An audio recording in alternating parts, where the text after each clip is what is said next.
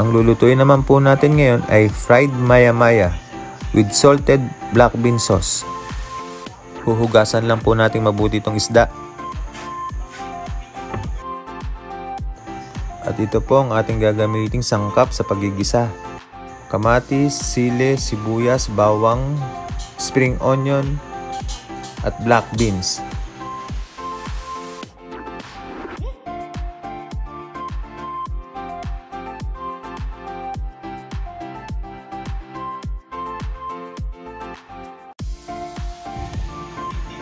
Iko-coat lang po natin ng harina itong ating isda para maiwasan nating wag dumikit sa ating kawali habang piniprito natin para siguradong hindi madedeform yung ating isda.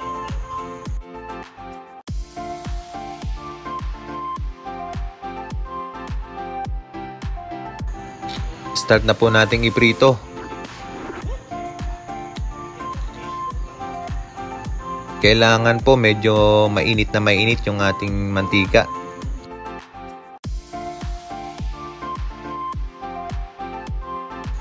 Para maging crispy yung balat ng ating isda, juicy naman po yung loob. Lagi nyo lang pong tatandaan na huwag nyo pong i-overcook yung isda para hindi po tumigas yung laman ng ating isda. Sayang naman yung effort niya sa paghahanap ng sariwang isda, di ba? Mabilis lang naman pong malaman kung talagang sariwa po yung isda na ibinibigay sa inyo. Check nyo lang po yung mata ng isda kung malinaw. Pag medyo po mapula na, huwag nyo na pong kukunin yun. Sigurado po hindi na po sariwa yun. At yung hasang po dapat mapula. Kapag po medyo maputla ang kulay or maitim na, huwag nyo na pong kunin yun. Sigurado hindi rin po sariwa yun. Yan po yung silbi ng paglalagay po natin ng harina sa ating isda. Hindi po mahirap siyang baliktarin. Kung wala po itong harina, sigurado durug-durug na po ito sa kababaliktad natin. Antayin lang po nating maluto itong isda. Pagkatapos po, lulutuin na natin yung ating sauce.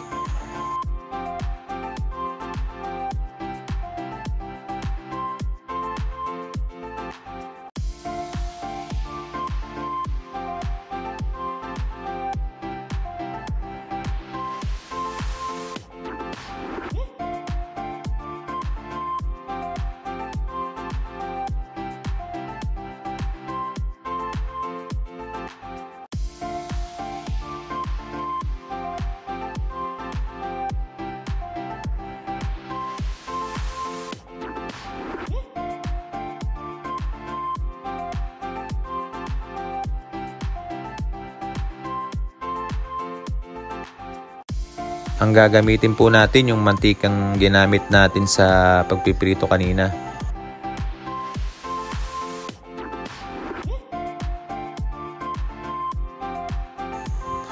At simulan na po natin maggisa.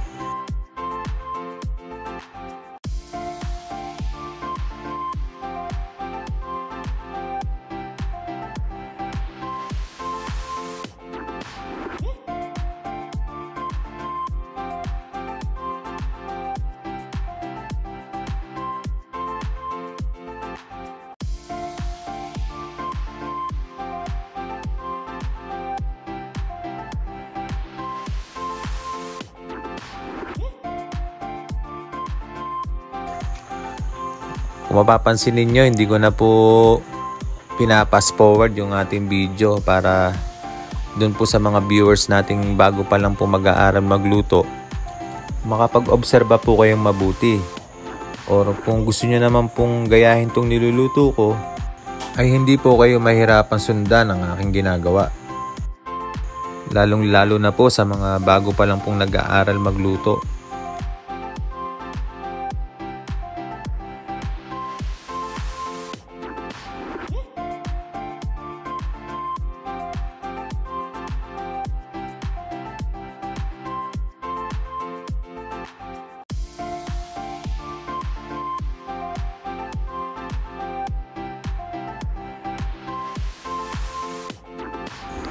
Ayan po yung ating kamatis. Kailangan lang po natin maluto po natin itong mabuti.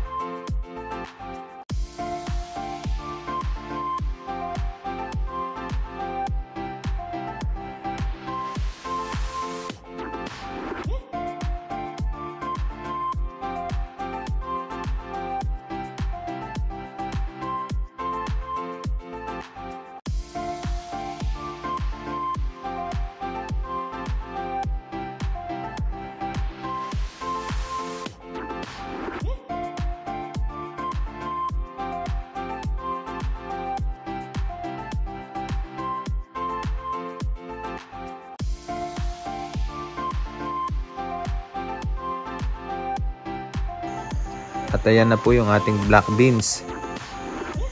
Kailangan po aangat po yung lasa nito sa ating sauce.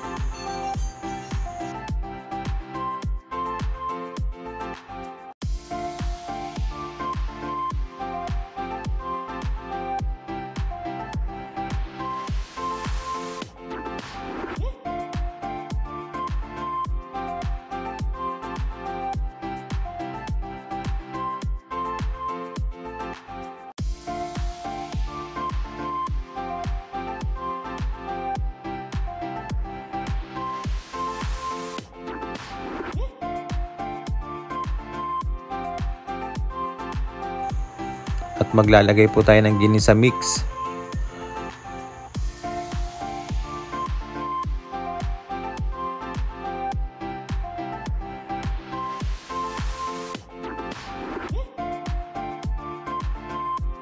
At ng tubig po, depende po sa dami ng sauce na gusto nyo.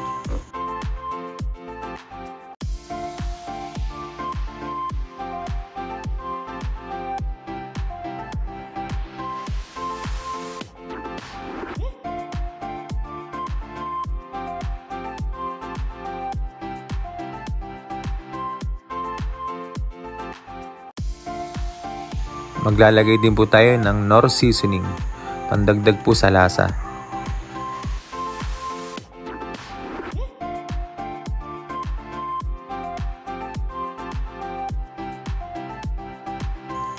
Konting toyo lang po ang nilalagay ko dito para po medyo maging dark po yung kulay ng ating sauce. At paminta po.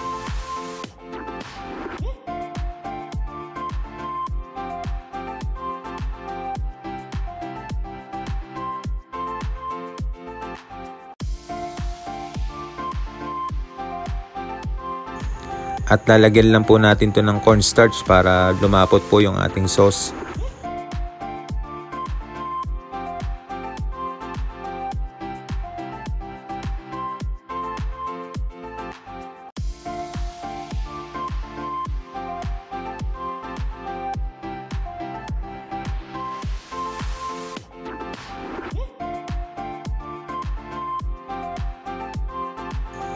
At pagkakulo po nito, pwede na po natin itong iserve. Andito na po tayo sa ating pinale.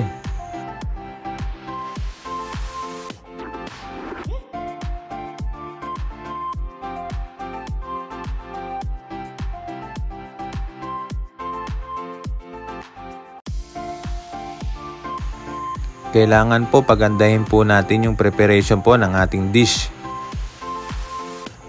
para magmukhang katakam-takam yung ating nire-ready na pagkain.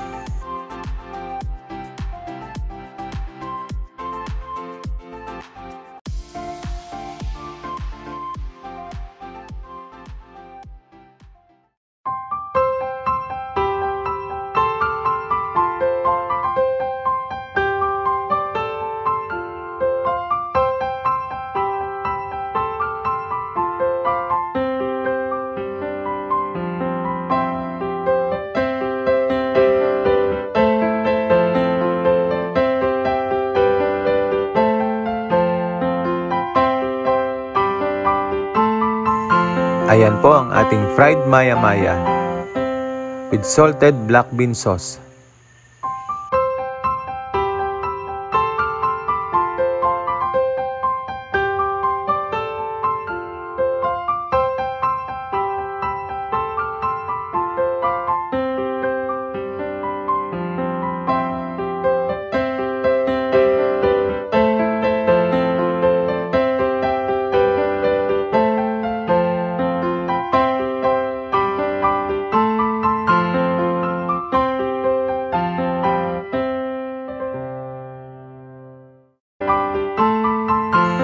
Mami, halika na dito. Kakain na tayo. Thanks for watching. Please subscribe.